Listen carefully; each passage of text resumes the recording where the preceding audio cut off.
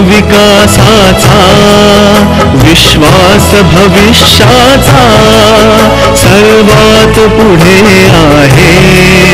हा महाराष्ट्र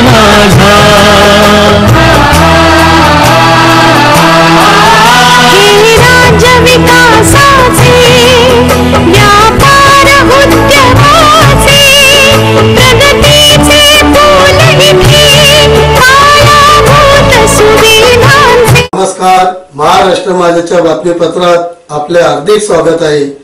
आता पहा आजच्या ठळक घडामोडी.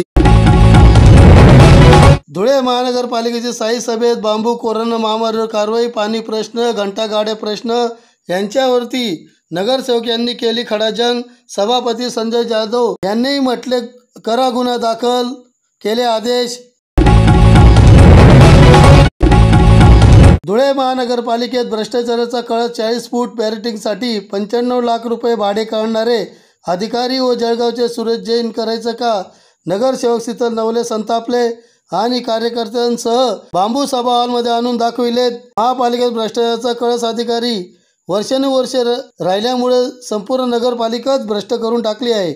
अनेक वर्षापासून अभियंता र नगररत्न अभियंता नगरसेवक असे सर्व मिळून संपूर्ण प्लॅनिंगने वर्षानुवर्षे महानगरपालिकेचे आयुक्त यांनाही गोलमाल करून सामील करून लुटले जाते.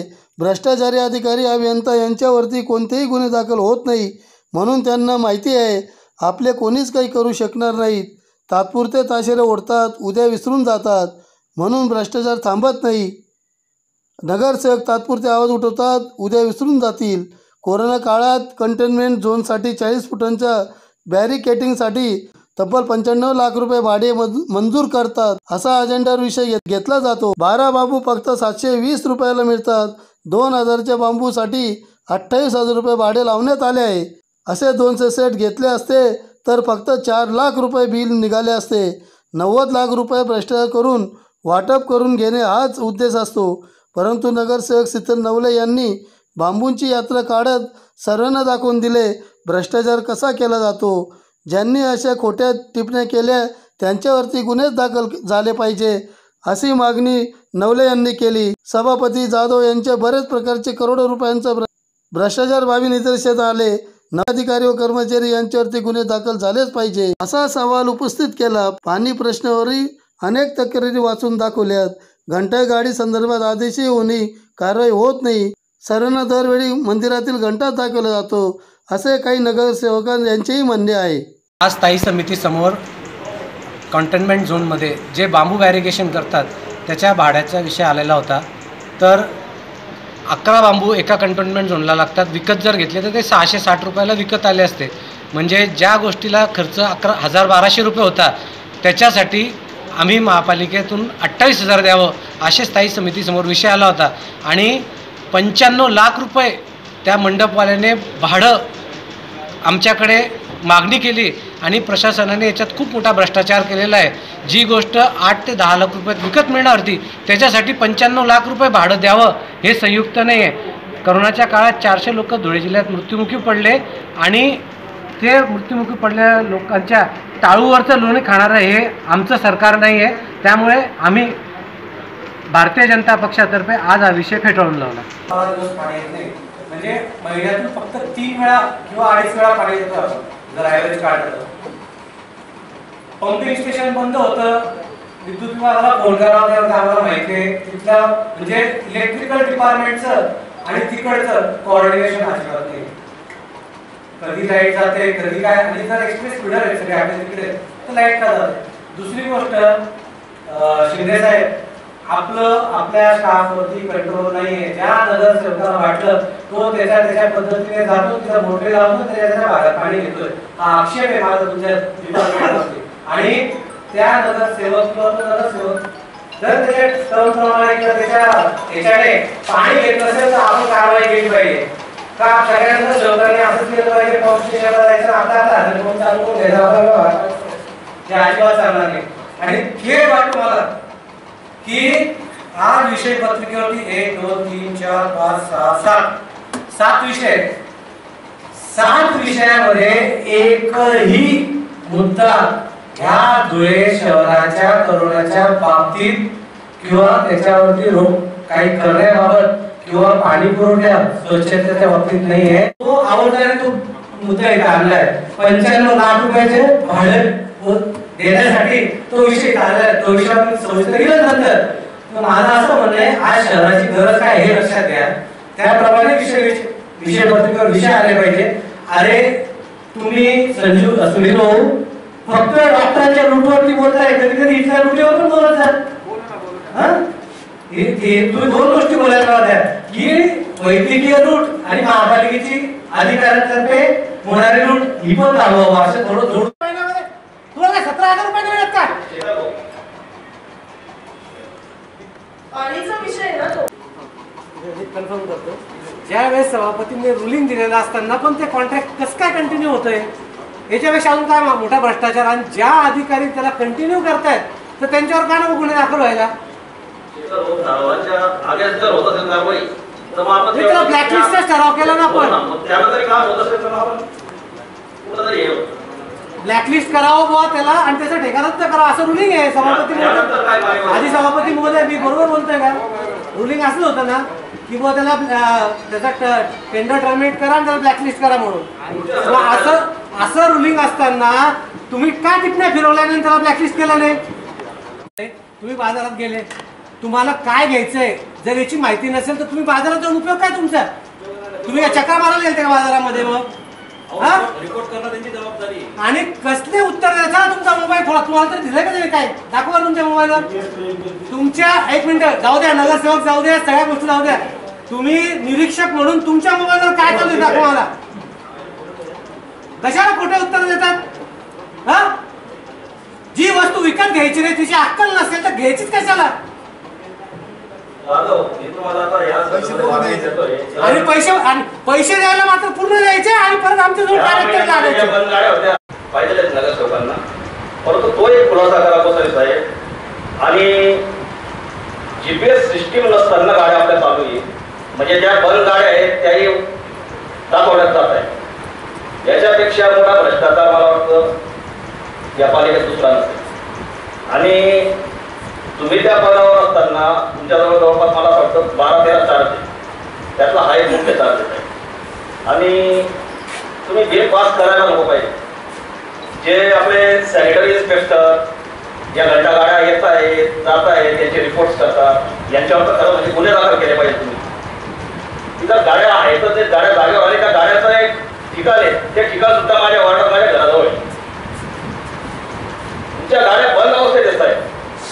तुम्ही बिलं देता कशापुढे इथे सांगा मला मला वाटतं की तुम्हीच करावा सोय साहेब सदस्यांनी जे काही मांडलेलं आहे सगळ्यात पहिले बाहेर गाडी सगळ्यात पहिले बाहेर तुमच्यावर साहेब गाडी आपण जे जे निर्देश आहेत त्याचं आम्ही शंभर टक्के पालन करू दुसरी गोष्ट असं जर कोणी जर बिल दिलं ती स्वतः चौकशी करतो बंद आहेत कोसरी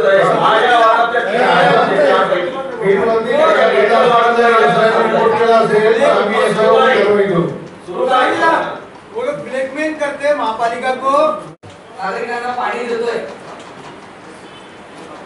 वर्षाला फक्त पंचेचाळीस दिवस आपण नागरिकांना पाणी देतो. आणि त्याच्यासाठी आपण तीनशे पासष्ट दिवसाची नळपट्टी वसूल करतो. तर मग आपण नागरिकांना आठ दिवसांना पाणी देऊन सुद्धा जर वेळेवर नागरिकांना पाणी मिळत नसेल तर मग आपली यंत्रणा काय काम करते मी वारंवार प्रत्येक आठवड्याला पाणी आलं म्हणजे मी संबंधित अधिकाऱ्यांना फोन करून सांगते साडेसात सात पाणी सोडलेलं असतं. तरी दहा वाजेपर्यंत माझ्या लोकांना पाणी मिळत नाही प्यायचं. आणि माझ्या प्रभागामध्ये सगळ्यात जास्त ज्येष्ठ नागरिकांची संख्या खूप जास्त असल्यामुळे ते पाणी घ्यायला कुठे बाहेर जाऊ शकत नाही. माझ्याकडे ओरसेर चव्हाण आणि त्याकडे हे काम पाहतात पाणी पुरवठ्याचं. मी संबंधित मागे चव्हाणांना फोनही केला होता. पण त्यांनी मला अपेक्षित उत्तर मला त्यांच्याकडे मी शिंदे साहेबांना फोन केला की साहेब हे प्रत्येक आठवड्याला हाच प्रॉब्लेम होतो माझ्याकडे. एसी शक्तीची लाइट अडून पडलेली आहे. काही भागात गेलेली आहे काही भागात तशीच पडलेली आहे. वारंवार हा त्रास आहे सभापती महोदय. आणि हा त्रास कसा कमी होईल? त्याच्यासाठी मी आज तुम्हाला पत्र दिलेला आहे. आणि हा पाण्याचा विषय पुढच्या येणाऱ्या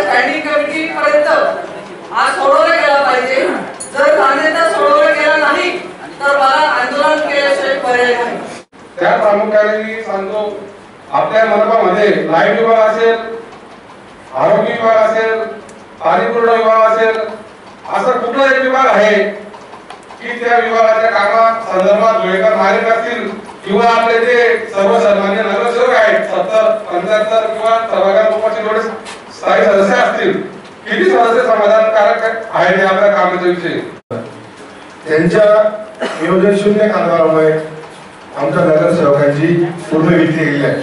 अडीच वर्षात पुढच्या अडीच वर्षात जर आम्हाला जनतेसमोर मतं मागायला जायचं असेल आणि त्यांचा आशीर्वाद घ्यायचा असेल तर या गोष्टी जर क्लिअर झाल्या नाही तर नगरसेवक जनतेसमोर जाऊ शकत नाही. कारण प्रशासनाची आणि का ठेकेदारीच्या चुकीचा मोबदला नगरसेवकाशी सरकार नाही. माझ्या स्वतःच्या प्रभागात मागील दीड ते दोन महिन्यापासून घंटागाडी उपलब्ध नाही. संबंधित विभाग जाधव साहेबांना विचारलं ते म्हणतात की गाड्या कराव्या महिन्यातून किंवा चार चार महिन्यात प्रत्येक वेळेस आपल्या घंटागाड्या खराब होत जातात. प्रत्येक महिन्याला जर घंटागाडीचे टायर खराब व्हायला लागले आणि आपण मागणी करायला लागलो तर ते म्हणतात की प्रशासनाकडनं टिप्पणी ठेवली ऐंशी नव्वद हजार रुपयाला खर्च आहे. तर प्रशासनाकडनं पैसे मिळत नाही त्याच्यामुळे तो संबंधित गॅरेजवाला म्हणा किंवा कोणत्या ऑटोमोबाईल वाले असतील ते आपल्याला गाड्या उपलब्ध करून देत नाही. सरकार रद्द करून ब्लॅकलिस्ट का करण्यात येऊ नये अशा पद्धतीचं आयुक्त साहेबांना निर्देश केले होते. त्यावर आयुक्त साहेबांनी पुन्हा ब्लॅकलिस्ट करण्याच्या कारवाईसाठी स्थायी समितीच्या पुढे हा विषय मांडला. मी त्यावेळेसच्या रुलिंगमध्ये असं नमूद केलं की सदरचा कारवाईच्या बाबतीमध्ये आयुक्त मोदयांचा अधिकार आहे. याच्यामध्ये कायदेशीर बाबी अडचणीत येऊ शकतात. सन्मान्य सदस्यांनी का त्याला जर ब्लॅकलिस्ट केलं त्याला कारवाई जर केली उद्याटून जो तो कोर्टात गेला आणि तुम्ही सभापती किंवा स- स्थायी समितीच्या आदेशानुसार त्याच्यावर जर कारवाई केली तर संबंधित आमच्यावर दावा दाखल करू शकतो. हा तुमचा अधिकारातला विषय आहे.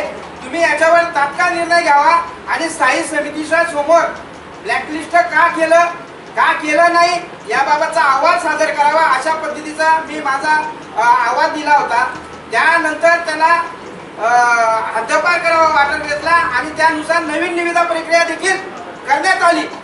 तत्पूर्वी त्यांना फक्त सहा महिन्या म्हणजे निविदा प्रक्रिया होतोपर्यंत वाटर ग्रेसला यांच्याकडे यांना अजून मी आदेश केले होते की महानगरपालिकेने पर्याय व्यवस्था स्वतः महानगरपालिकेने करावी. परंतु यांनी महानगरपालिकेकडे कर्मचाऱ्यांचं कमतरतेचा अभाव दाखवून पुन्हा वाटर ग्रेसलाच त्या पद्धतीचं काम करण्यासाठी निर्देश केला आणि तोच काम आता करतो आहे. त्यामुळे त्यावेळेच्या सभापती आणि स्थायी समितीने त्याला वाटर गेसला ब्लॅकलिस्ट करून ठेका रद्द करण्याचे आदेश केले होते. आपल्या साठी माहितीसाठी अभी पर्याय मिलेगा. मिलेगा कि नहीं मिलेगा? यादव साहब पर्याय बताओ एक मिनट रुको. और कंटिन्यू चलती थी. और इससे अच्छा काम करती थी. ये घंटा गाड़ी जो है ये सारी घंटा गाड़ी एक तो बेच डालो. अगर ये घंटा गाड़ी रही हमारी महापालिका में तो शहर के अंदर काम होने वाला नहीं है. ठेकेदार को कुछ पड़ी नहीं हो बार बार उनका ड्राइवर जो है उसके पैसे जाते नहीं है। वो बार बार जो है मेरे कार्य शून्य हे मुद्दा म्हणूनच आहे. काल जीपीएस सिस्टीम मध्ये मी सगळे याचं ज्यावेळेस